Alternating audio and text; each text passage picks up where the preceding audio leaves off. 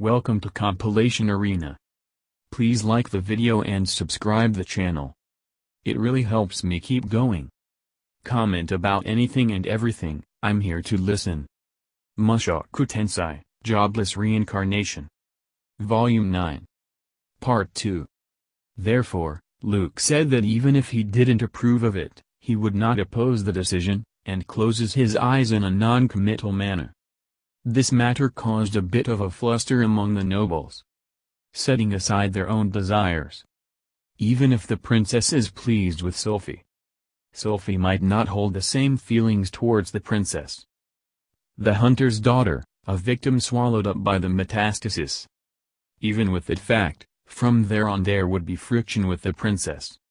For example, the others of the first prince faction were likely to take advantage of her. When considered, by no means would Sylphia be permitted to be near the side of the princess. The reason being, that all Asura nobles are malicious. Supposing, if Sophie was just a village daughter having no power at all. And in addition to that somehow it was allowed. However, the existence of Sophie had exceeded the category of village daughter. Having intermediate class chantless magic, even if there were some crude bits of commoner, she also understood the importance of etiquette.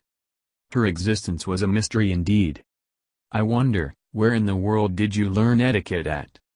Um, in my village, I had been accepting instruction from a kind person called Lilia-san. Lilia. The moment the name appeared, Ariel's impression improved further. Lilia. I remember her. When I was a child, oneself was presented with a person which defended myself, she was a maid of the Imperial Guard. And then the impressions of the nobles worsened further. The Imperial Guard maid of the Inner Palace, the story of her becoming unable to work due to injuries, and the story of her dismissal had been heard before. Mostly it was slips of the tongue that talked about secretly dealing with someone who knew secrets from the Inner Palace. Lilia had escaped to the Fittoa region. Um, Lilia-san, ah, she served Rudy's father, whose name is Paul. Paul, you said? The new name appeared. Paul Notos Greyrat. If one speaks of Paul, it is known he is a man famous for being a bad boy of the Notos family. There were rumors that he held a grudge against the former head of the family as well. A maid of the inner palace, taken in by the absconded son of upper nobility, instilling etiquette in the user of chantless magic. This was too good to just be left to chance. To the nobles, who are absorbed in schemes, it was no longer possible to think of this as fiction. Investigating further was pointless, since Fittoa region had already disappeared. It was difficult to ascertain the truth of the matter. Now what should we do? HMPH. The nobles worried. Ariel rarely says selfish things. And it was true that the seat of the guardian magician was open. Although Sylphie was originally a commoner, she had certifiable skill as a magician, and knows etiquette even though it is imperfect. The ability is not bad. And because it is not bad, there must be vigilance. One of the Greyrats belongs to the second princess faction. The one who is called Luke and is symbolically the guardian knight. For Ariel, the Notos, are an ally. However Paul Greyrat is a man who threw away his title after some discord with his parents. If they are an enemy of the Notos, then consequently there is the possibility that they are an enemy of Ariel as well. Was Sophie not aware of that when she gave the name of Paul? What was the meaning of that? If she wanted to receive the trust of Ariel, she should not have given out the name of Paul. That's something she should have understood. Then, because she gave the name out, does it imply that they are not an enemy? However if that's the case in doing so, then who in the world is the mastermind that is pulling the strings of this girl? At least, there is no mistaking that they are indeed an enemy of Notos. However the people who want to be hostile to the large noble family of Greyrat are few indeed. Saying and doing, it seems all the Greyrat are identical in that. And so they hit upon something. Of the similar Greyrat, there was one person unfriendly with Pilemon who was the current family head. It was Sauros Boreas Greyrat. Saul Eros was always backbiting and criticizing that Paul should have become the family head, and not Pilemon. However he was not the type of person who would involve such a young girl in politics. If that's the case then there is another one. Philip Boreas Greyrat. If it is him then, he would crush the second princess whom Notos supports, someone like him could definitely wind his hand around the strings of this young girl. Sauros and Philip, and even Rudeus, they are all missing when the Fittoa territory disappeared. Supposing, that they were the ones to cause the metastasis event, under this guise, it was possible to have something moving in the shadows even now. Their first approach might just be a girl named Sylphiette. If it's the case that Sauros isn't taking part, then the ringleader is Philip, for the sake of entrapping James who is to be the next family head, there is the possibility he may be acting to that end.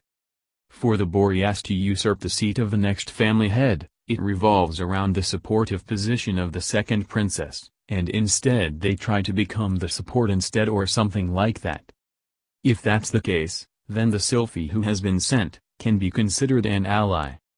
In neither case, the person pulling the strings is either Sauros, or Philip. So the nobles concluded.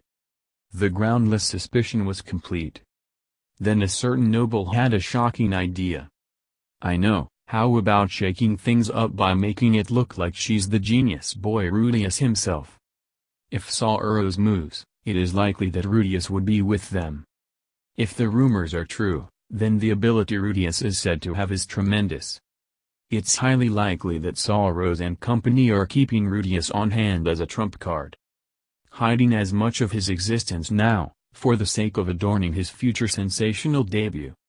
When they appear, Rudeus, as a person with a legitimate blood relationship to Notos, comes out in the absence of those who are too afraid to act. As a powerful piece who then takes part in backing the first prince whom Boreas supports. Sophie is assumed to be the person whom they sent. If we reveal her as Rudeus, it may be possible to hinder their plans. If we do some shaking, it may be possible to have them expose themselves. To this, other nobles expressed concern.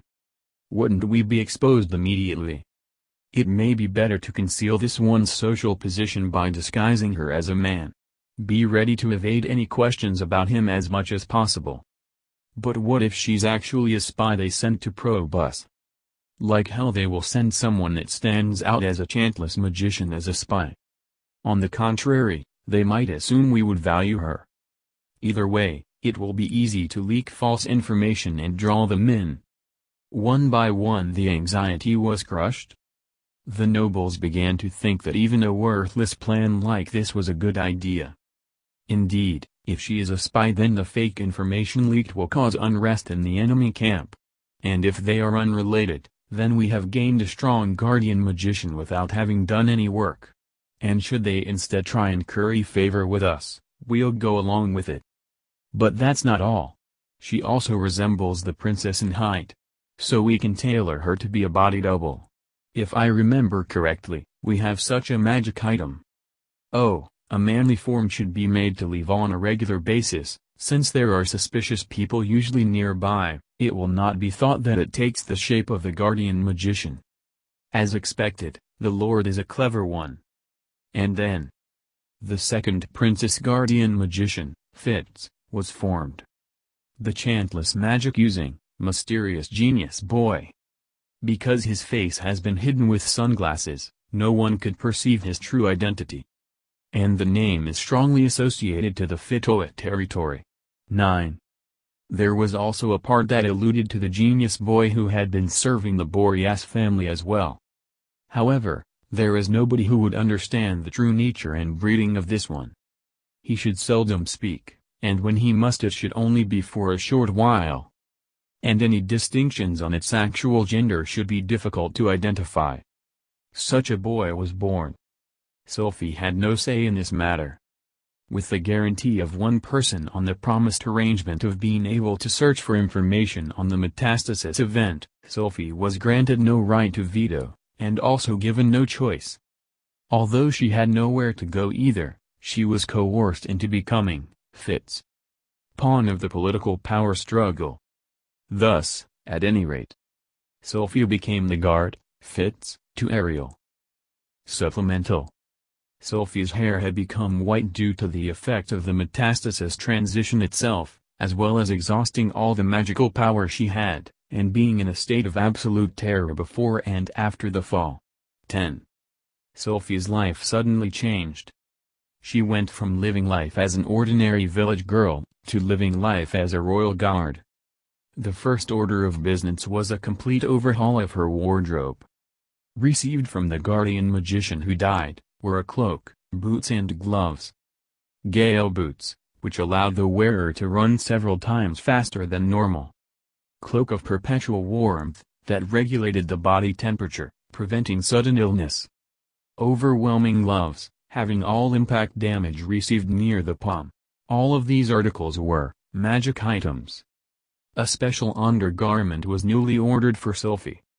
Bustier of the steel-threaded silkworm, it is made with fibers that resist most blades, however it cannot withstand an attack by someone using skills of the sword god style, rather it's more for preventing wounds from the level of a thrown dagger. In addition, a magic tool that changes color and orients in the direction of a certain person when an impending crisis to them approaches. Sunglasses of the rescuer. While allowing the face to remain hidden, it allows perception of the crisis state of the princess instantaneously. This is a full set of the rarest of equipments. If an adventurer saw it, they might become stricken with jealousy and try to take it for themselves. There was also the opinion of giving Sophie a certain wand, but Sophie refused it. The wand she was using presently, was the beginner's wand she had received from Rudeus. It was her sole property and so she desperately did not want to part with it. It was after all the wand that felled the terminate boar in one shot. No one was going to force the issue. Even her eating habits had changed drastically. In Buina village, the staple food was something akin to a crusty brown bread and vegetable soup. And the main dish would be the rabbit or bird her father had fetched. These were the kinds of meals that Sophie knew. But even though Sophie was from a poor family in Buina village, because it was part of the bountiful Asura kingdom, there were no cases of hunger or starvation to worry about. But now the meals had changed to that of the grand feasts of the imperial court of Asura kingdom. A thick, rich and hearty soup served with tender white bread. Meat and fish covered in abundant spices and slow cooked for a long time. Salad made with fresh raw vegetables, and then followed up with a dessert. It was all far too luxurious for Sophie. Although even if it was such a luxurious dish, her job as a guard made it required for her to eat until the very end, she had to retire after seeing exactly how much those of the upper-level nobility could eat. The similar yet lower-ranking guard, was Luke. However, the difference in the quality of meals here compared to those of Buina village was like the difference between heaven and earth. For Sylphie, living every day in the palace was like living in a dream. Her only dissatisfaction was the lack of freedom in personal time. Still, she kept strengthening her body, and managed to find the time to keep practicing magic. Of course, she was concerned with what happened to Rudeus and Buina village. Although information was being collected, the feudal lord James Boreas Greyrat had fled in an effort to save his own neck, so the search hardly advanced at all. The minister Darius, however, made a move by helping a person named Alphonse, who at one point was a butler of Sauros, to establish a refugee camp. The outlook there, however, was grim. Sophie insisted that she would go to take a look, even traveling by her own feet if necessary, but that was rejected. She was told she just had to wait, while properly doing her job as a guard. Sophie continued to perform the guard work, as she was told. At first, it was a string of continual failures.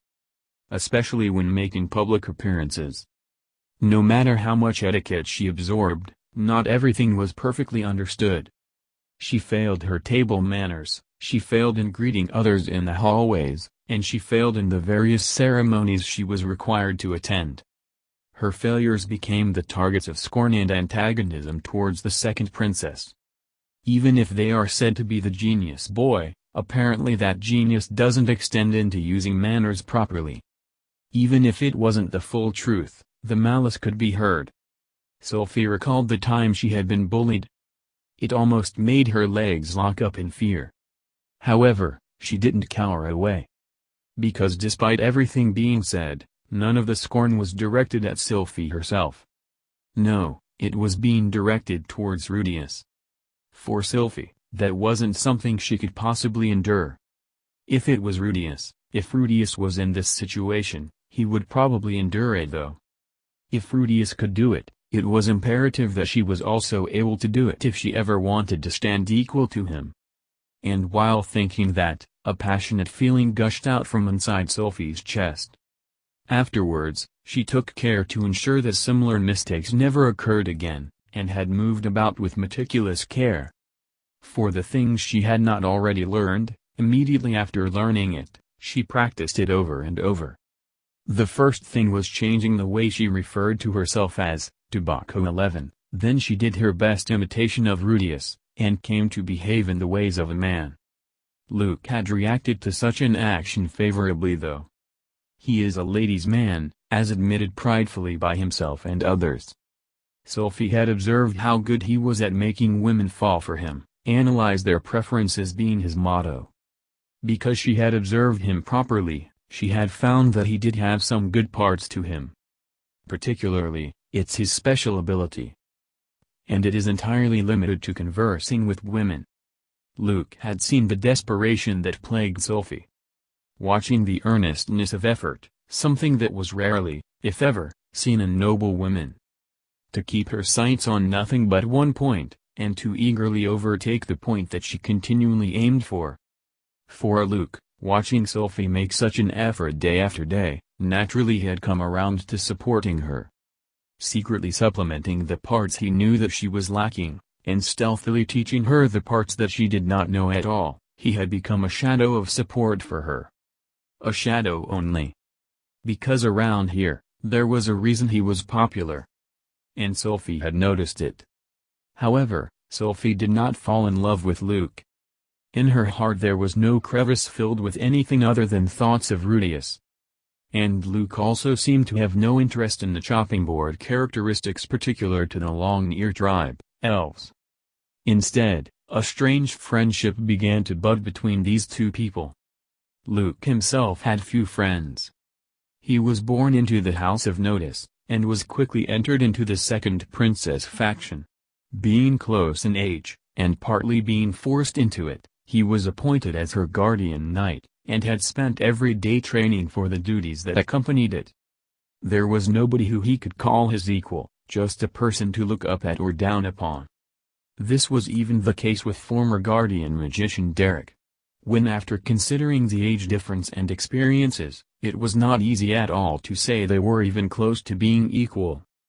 Only Sophie was an understanding existence that could finally be called equal to Luke. Perhaps to him, she could have been the only one worthy enough to be called his friend. While getting along well with Luke behind the scenes, Sophie and Ariel also continued to deepen their bonds of friendship. However, the opening act never ends smoothly. At that time in her life, Ariel was an extreme sadist. She was a girl who felt a particular excitement tormenting others, the likely cause of this was something that lingered behind after all the times she had nearly been assassinated. At first, Ariel did small things, like ordering the maid of one of her guards to perform cleaning duties while stark naked, while others included Ariel herself severely beating an errand boy with a horse crop. Perhaps you could call it a love of bullying the weak. Of course while her proclivities were concealed as much as possible, they were already established as a well-known fact in the imperial court. At first, Ariel only targeted those who were weak, but gradually over time she lost interest in weak people, and instead came to be attracted to those she considered to be, strong people. By accomplishing the task of making a strong person, prostrate and submit to her authority and position.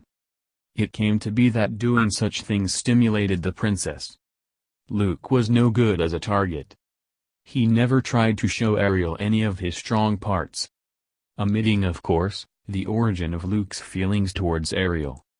Also, there was Sylphie's predecessor, the guardian magician Derek. That one never showed strength towards their master, Ariel. Nothing but obedience was shown. Mental strength and a rebellious spirit, men who didn't try and show these things were not at all of Ariel's taste.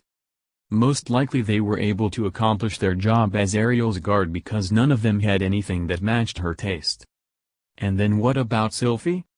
She felled the Terminate boar with one shot using chantless magic, and while in a strange place, surrounded with strange company, she remained determined to do her best to learn strange manners? Tasty. Even if she was skilled in magic. Even if she was of a younger age. Even if she had white hair even if she had long ears. Even if she was diligent. And even if it seemed like there was a man she desired. All of it was to Ariel's taste. At first, Ariel endured the nagging desire. It was because Sophie saved her. Ariel owed Sophie her life. She still remembered the fear the Terminate boar instilled when it appeared before her. If Derek hadn't pushed her away, Ariel's head most likely would have exploded and her brains splattered everywhere. If Luke hadn't protected her, Ariel's stomach and chest would likely have been torn apart. Neither Luke nor herself would be alive if not for Sophie. The Terminate boar is different from a goblin. It doesn't lay its eyes on a woman and consider violating her. It only rips the body apart as it feeds on it. Ariel's life had been saved, and as a respectful member of the imperial royal family of Asura, repaying such a favor was surely necessary. However, such thoughts, began to gradually fade away. The Sylphie who eats delicious meals every day. The Sylphie who lives and works hard every day. Towards that Sylphie, Ariel speaks words of gratitude to the first time before preparing to eat such a tasty meal. Such a wicked happiness could be seen in the eyes of the princess. Of course, Sylphie being Sylphie, naturally she worried over her parents and Rudeus. But, at the same time, she knew Sylphie also recognized that she was now under the patronage of Ariel. So a bit of that attitude had emerged in her daily life. Seeing such an attitude, Ariel considered what to do. It's a good thing, right? I don't need to endure it anymore, right? Such a misunderstanding had led Ariel into planning the brutal assault. On a certain evening, Ariel went to Sylphie's bedroom, wielding the Asura Kingdom Purveyor's royal dildo, and attacked. It was to be a night of dazzling pink. After all, there was no one who ever defied the royal partner. So the virtue of Sylphie was about to be in a precarious position 12. Counter to the princess' expectations, Sylphie fought back. With blood-red eyes, she rushed straight at Ariel and fought back. In a half-dazed state, she retaliated. Sylphie threw aside all the manners and etiquette she had learned up until now. Sylphie did not have any deep feelings of respect towards the imperial family. And once, from Lilia, she had learned a bit of the night workings that went on in the imperial palace. Sophie recognized the rape attempt on herself for what it was. Of course, there was gratitude towards Ariel. But this and that were two different stories. Sophie with her powerful magic, had inflicted a wound on Ariel that nearly killed her. If, at that time, Sophie couldn't use healing magic, it would have become a serious problem. Actually, it had become a problem. Luke, who heard the screams of Sophie had rushed to the room. And there he saw the scene, a tattered Ariel, and a Sophie performing recovery on her. Ariel, the second princess who he was sworn to protect, had been wrecked. Luke, realizing the situation in a moment, knew that Ariel's bad habit had once again appeared. And at the same time he also thought the situation was a bit distasteful. Just by himself, it's impossible to cover these incidents up every single time. However if Ariel orders it, he will let fall the head of Sylphie. This he understood intuitively. Luke shook. Does he kill his only friend to protect himself, or does he defend this friend who came from unworthy roots instead? However, the troublesome and groundless pondering was over in a moment. Being tormented, it is surprisingly pleasant. Ariel, it seems, had just awakened to a new proclivity. The royals and nobles of Asura, every single one of them has a strange proclivity. Masochism is no exception. Therefore, this one incident was treated as if it was a play. The victim, Ariel, had covered for, the assailant, Sylphie, as expected, since it was the only reasonable course of action to take.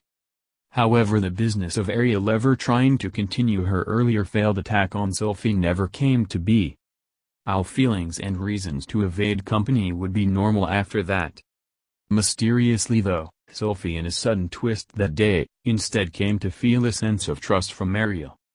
She who was avoided by those of the same age, it was a special boy named Rudeus who became her only friend.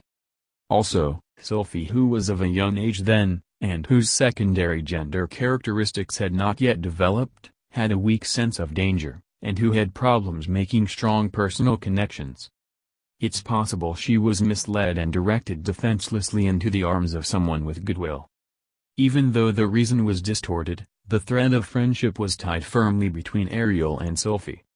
Thereafter, little by little, Sophie and Ariel began to deepen their friendship. One year had passed from the metastasis event, and circumstances would change. No, circumstances had already changed. In a place Sophie couldn't know, and for a long time after the metastasis. This was the beginning of Lord Liston's thoughtless words. He, who was taking advantage of the opportune chance, spread it around the nobility that it was likely the doings of the first prince. At least, that was the reason given, who could think that a demon would appear in the royal palace if it wasn't guided in by someone. And so, he laid the blame sufficiently well on the other party, even devising ways to treat innocent people as criminals. However, when the story no longer required there to be a person to have led such a monster inside, the situation drastically changed. To this person who was using the abhorrent natural disaster, contempt was shown. This was an act most nobles have done. However, Lord Liston mistook his opportunity. Before the matter was settled as being a natural disaster, the fact of the other party having attacked had been delivered. A chance was then shown. First on the list of the Prince group, High Minister Darius harshly criticized Lord Liston at just the right moment. Lord Liston's authority sharply fell. Since most of his territory was lost, he had then become a middle-class noble. With his loss, the second princess faction, who even at their strongest was still weak, had received a further attack. High Minister Darius severely weakened the nobles of the second Princess Ariel's faction. Influential nobles, in succession, had lost power, or betrayed the princess, causing the immediate collapse of the second princess faction. By losing a person of influential backing, the reality for Ariel, was that the road to the crown was also becoming lost to her. However, Ariel's charisma was extremely high. Her popularity among the people was also high. If she lived, it was expected that she would become an obstacle in the future. Darius advised the first prince on this matter, and had sent an assassin to put an end to Ariel. The influential nobles had been suppressed, so there were no longer any soldiers left to protect her. The elder brother assassinates the younger sister. To gain the throne of Asura kingdom, it must be won in such a race to power. Even the present king had done something similar to assume the throne. The princess faction has no defensive strength. And there is no way to stay an assassination by political means either. Ariel's life was now in a precarious situation 13. But, the assassination was prevented, by the hand of Sylphie alone. She had managed to turn the tables on the assassin. It was a desperate struggle. If she was not the apprentice of Rudeus. If she didn't know how to use high-speed movement by shockwave through the usage of chantless melded magic. If she didn't see up close what Rudeus was doing, and ask for what reason it was being done. If she didn't hear the theories and reasons behind it, and mimic it herself. And if the enemy hadn't underestimated her because she was a child. Sylphie would probably have lost her life to the attack she received. The result however, was that Sophie had survived. Due to the poison the assassin used, she wandered between the worlds of life and death for three days, and fortunately for her, there were no traces of disabling after effects. As a result, The name of Fitz, who was once known as Sylphie, had become known widely in the royal palace. The rumors of the genius boy had been heard, was he a fake? It's possible they thought he was a counterfeit. To begin with, the positions of guardian knight and guardian magician have been a tradition of the royal family passed down since olden times. The position is usually filled by spare children of powerful nobility as offerings. When an assassin is sent, they die bravely in their protection of the royal family. The noble parents grieve exaggeratedly about how brave their child's death was. The royal family acknowledges it by sending a medal of honor as recompense to the family, and in this way, noble and royal bonds are deepened. Their very existence amounted to only such a thing. You could call it a sacrificial pawn, a display piece. However Sophie was quite different. Although her actual fighting experience was lacking, she was by far a talented magician. To hear the report of the repelled assassin, Darius had revealed his concern. The assassin whom he released on her possessed that much skill after all. The first prince faction became cautious. And Ariel's group feared it. Thinking they would be killed sooner or later if they remained in the royal palace. They had only a few allies remaining. Just the several servants who were at hand, and one remaining influential noble. An assassin had brazenly shown up in the room of the imperial family, yet no one was blamed for it. However, the issue was more that such a matter was not even questioned. The leading noble of the Ariel faction, Philemon Notos Greyrat, summed up the pressing state of affairs. Please escape, Ariel Sama. Only death awaits you here. You are saying I should run away. Darius is friendly with me, so I will enter into the first prince faction, and weaken their power from within. Ariel Sama then gathers her power in the lands of a foreign country, creates alliances, then returns when she sees the opportunity and by then I should be reconstituted and ready for action. Philemon was a clever man.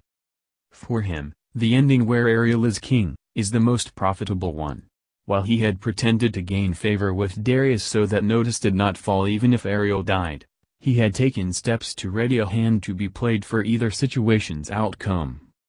Following that advice, refuge was to be taken far away in a foreign land and there she would gather her strength and bide her time. Ariel did not know of such things. But it was clear that she would be killed the way things were going. There were many places where she could go to study abroad. Some were large countries such as Dragon King Kingdom or the Holy Land of Millis that were included as candidates. However, Ariel chose the north.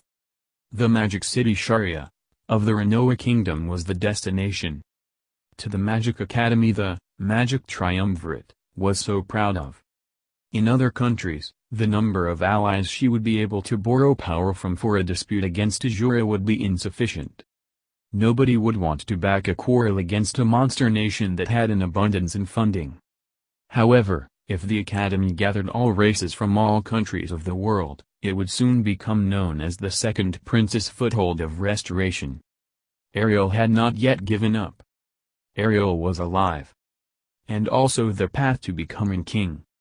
It was not just Noble's idle talk. She who was born to the Asura royal family, had understood her destiny. Sylphie, my apologies. Ariel was aware there was no reason for Sylphie to accompany her on this journey.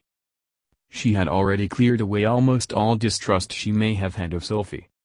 Paul's name was now associated with the Fittoa Territory Search Party, and was confirmed to be unrelated to the metastasis event.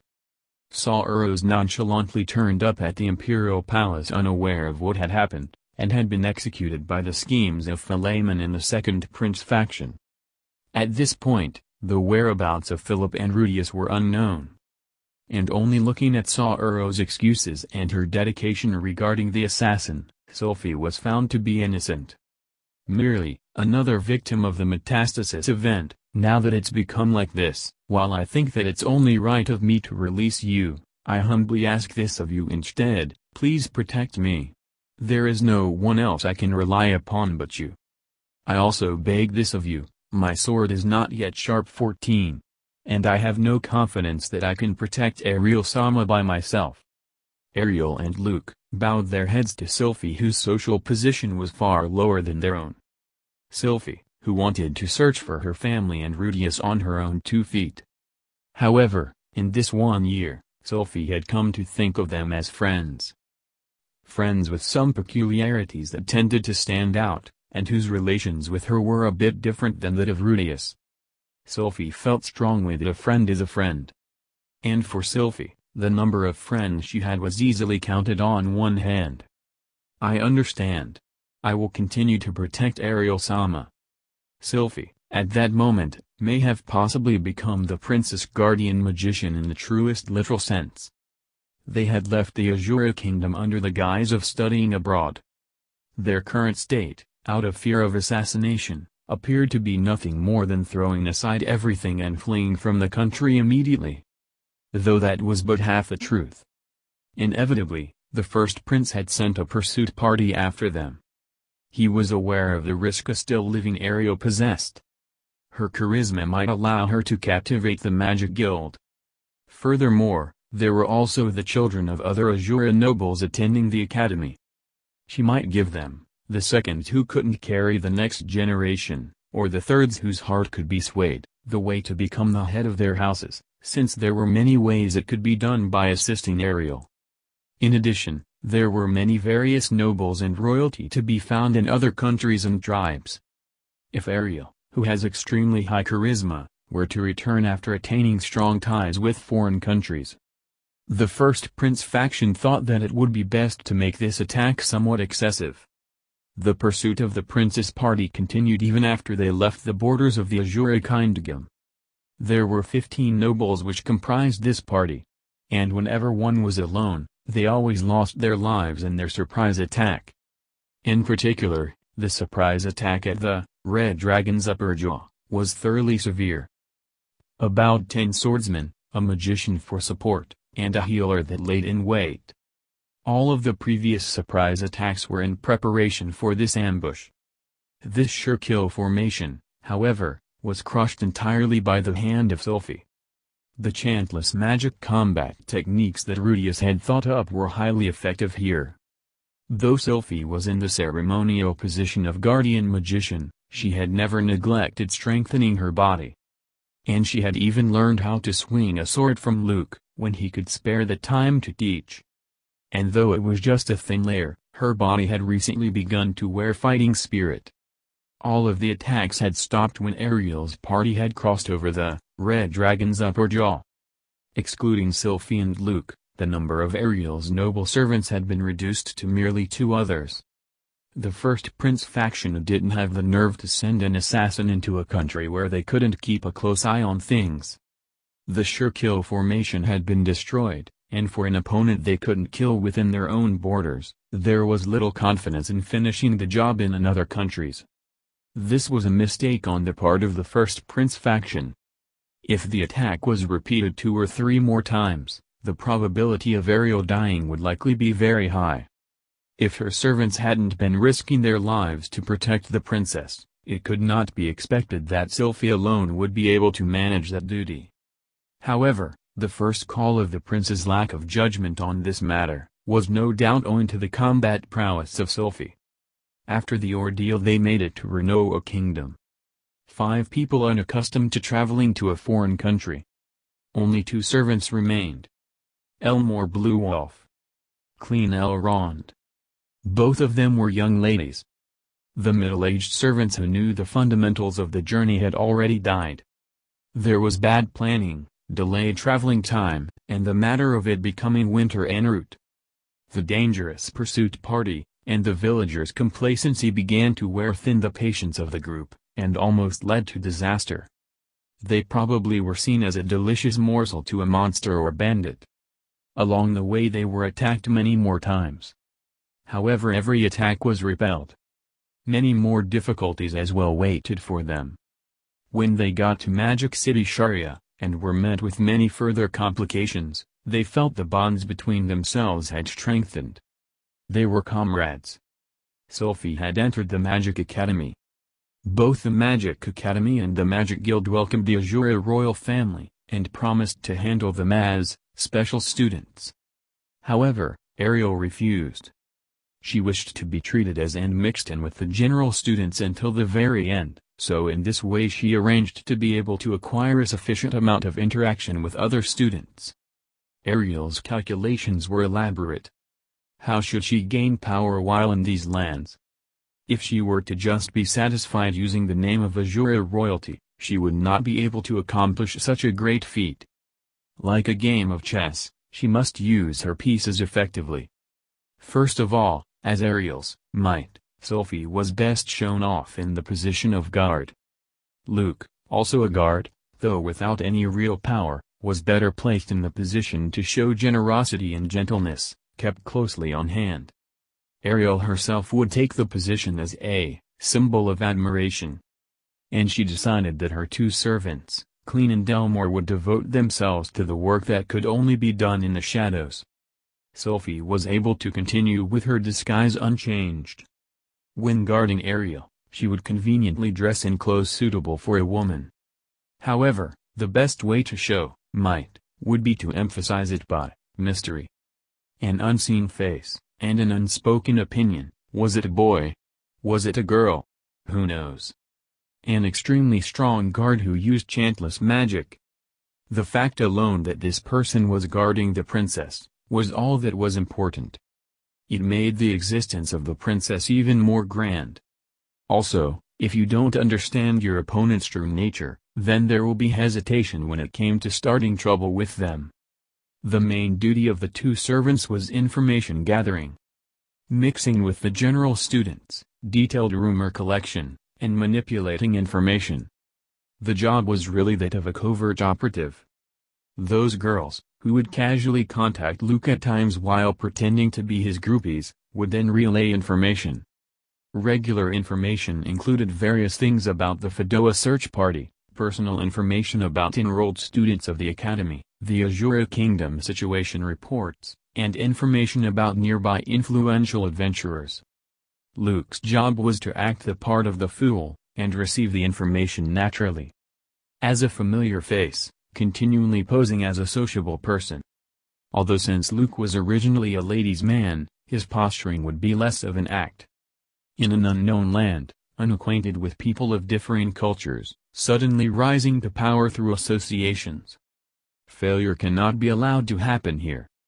Ariel gradually wasted away. In the situation in which failure must not be allowed to happen, without any kind of relaxation, continuously playing the part of a symbol. With no relaxation time, her great spirit had been whittled away. Still, she did somehow manage it for the first several months. Sophie had become Ariel's confidant because it would help alleviate the stress her body had accumulated. However, certain information had arrived. The updated death roster of Fittoa territory. In other words, it was information on the death of Sophie's parents. From this, even Sophie was closed off and in low spirits as could be expected. Sophie, having desperately made it this far, hearing about her parents' deaths took a heavy toll. Her one hope had been destroyed in an instant. Brooding, seclusion, the situation did not allow for it. Ariel wasted away. Sylphie was worn out. And the two servants who couldn't become used to their new way of life, it was hardly a situation where there could be worry about another person. Only Luke seemed to be fine. Because he had the optimistic and undaunted characteristic unique to the Greyrat House, he always seemed to be in the same state no matter where he was. The stability of his mind was likely helped by his so-called Upper Asura noble's lady fishing circumstances. Luke wondered if there wasn't some way he couldn't be helping with the current situation. However, in his knowledge, if a woman was depressed, the only solution was to comfort her in his arms. Apart from the two servants, he had no intention of holding Ariel nor Sylphie. For Luke, these two people had leapt over the category of love interest into that of a special existence. He was troubled.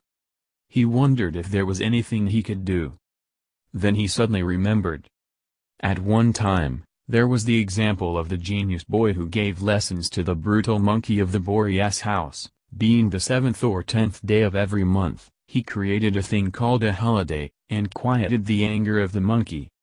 even to a certain man with habits of debauchery, it was especially important to have a little bit of something like a breather. Once every ten days they would be allowed to cut loose and go wild. Because of that, he proposed venting stress in such a way. Ariel, though she was worried about its effectiveness, agreed to it. Sophie, also desiring some alone time, also agreed to it. However there was one concern. Ariel's existence must become that of a symbol. And such an existence, if she were to be found cutting loose in the town once every several days, what would other people think of that? Ariel must be a symbol. She must not be allowed to appear the same as any girl around here. Everything that took great pains to begin building up absolutely must not be destroyed now. But such anxiety was easily solved by the existence of a certain magic tool. A magic tool that allows the user to take the shape of another. This magic tool took the form of two rings, a green ring, and a red ring. The person wearing the green ring would become identical in facial features and hair color to the person wearing the red ring. This magic tool was a secret treasure passed down in the Asura Kingdom family from generation to generation. This magic tool was meant to be worn by the body double of the Asura Kingdom. For Ariel and Sylphie, at times when they would go on holiday, this tool was used to disguise Ariel, so any assailant's eyes would be deceived. Using this magic tool, height and build, voice, even the eye color was unchanged. If observed well, or if one was heard conversing in its form, they can easily become exposed. However it was satisfactory enough. Using this, Ariel changed herself into Sophie. Sophie always had a reason to wear sunglasses, and furthermore lived a life where she hardly spoke. And also, since all of her magic was done chantless, it was convenient. There was no real high difference between Ariel and Sophie. It was really quite convenient. Using this, Ariel became Fitz. And as Fitz, it became possible for Ariel to move about the whole town. During this time, it was necessary that Sylphie be in a rather deserted place. As for the location, she chose the quiet library. She planned to examine the event that had killed her parents. And so, this was the way in which Sylphie and company led their lives at the Magic Academy. The past few years since I've started school have gone by without any problems. When I say no problems, I mean problems which put my life at risk. Dueling with Rinia and Pursena, Ariel Sama walking down streets disguised as me and being surrounded by thugs. Small stuff like that happened, but nothing life-threatening. Things were going the way Ariel Sama wanted. In the last few years, Ariel Sama has increased her followers as well. However, after entering the third year, we obtained certain information. The information is about a person called Rudeus of the Quagmire. Rudeus. So, I finally found some information on Rudy.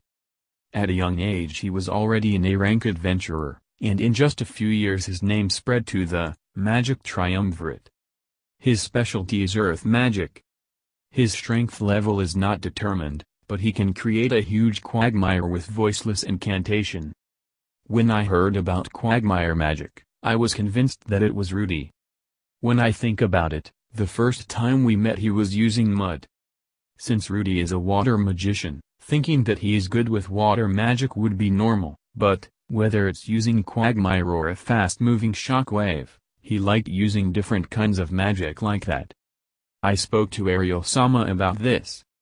Rudeus of the Quagmire is the person who taught me how to use magic, and, he is the person who has been missing for a long time. If he is the real deal, I would certainly like to borrow his power. I think that Ariel Sama was skeptical about Rudy. Since the information on Rudeus of the Quagmire was indeed dubious. Rudeus Greyrat, he was from Asura Kingdom, Fittoa region, Buena village. At the age of three he became an apprentice to the, Water Saint ranked at the time, Water King class magician Roxy Migurdia. At the age of five he became a Water Saint magician. At the age of seven he became the tutor for the daughter of the Lord of Fittoa, Eris Boreas Greyrat. As the story goes, the troublemaker and violent daughter of the Lord was properly disciplined and educated by him. At that time when the Fittoa region metastasis event happened he went missing. In the past, even if I heard this much I wouldn't think it's particularly a great thing.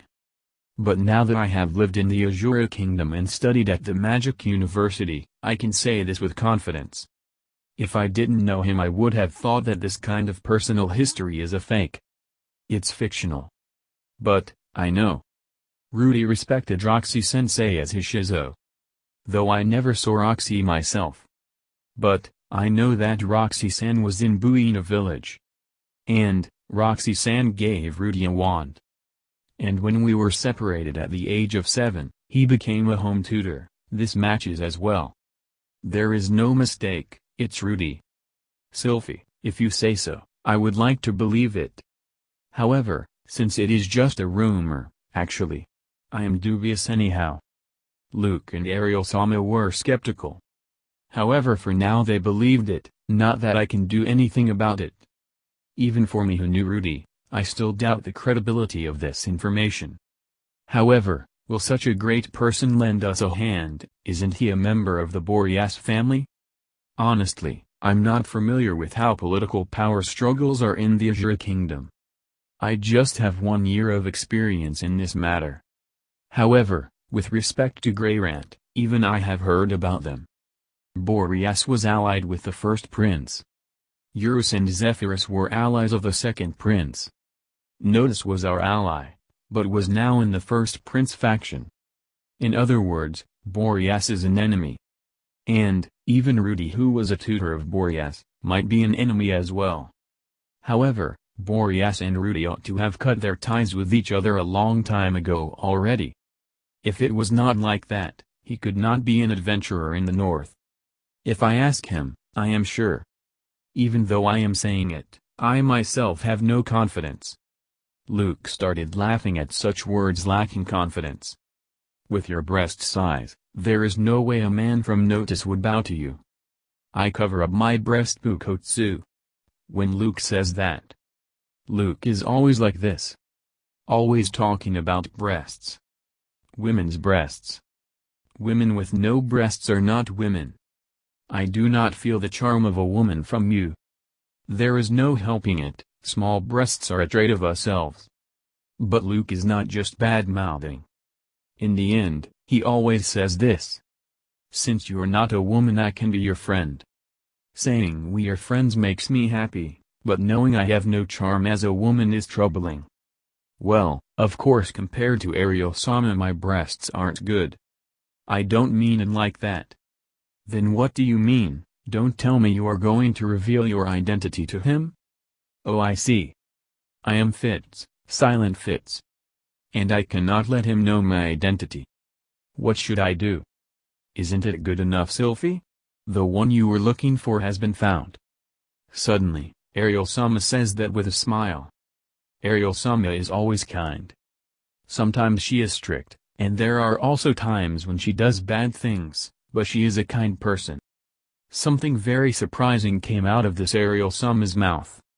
As a special case, you can reveal your identity to that Rudeus-san. What? Reveal my identity. But, what if doing that causes the plan to fail? I do know my role very well. I'm a mystery. I am an unidentified, symbol of power. In these past few years, I figured that I won't lose to those run-of-the-mill magicians. It is thanks to the training with Rudy. I am not as good as the god or king rank magicians, but I should be around the saint rank at least. Though I can't replace the other princes or king rank magicians whose support the princess needs. But, I am aware that I am the most powerful ally that the princess has at the moment. I had Sophie do her best up until now, I have to at least let you have your reunion right. But. And if the plan fails because of that, then we will think about it then. Ariel Sama after saying that and clapping her hand said. And, if it comes down to ensnaring him, a childhood friend has a better chance in talking him into it, right, thank you, Ariel Sama. I thanked her honestly. Though I saw her scheming something, but it's the usual. After seeing my growth, what would Rudy say? I am looking forward to it.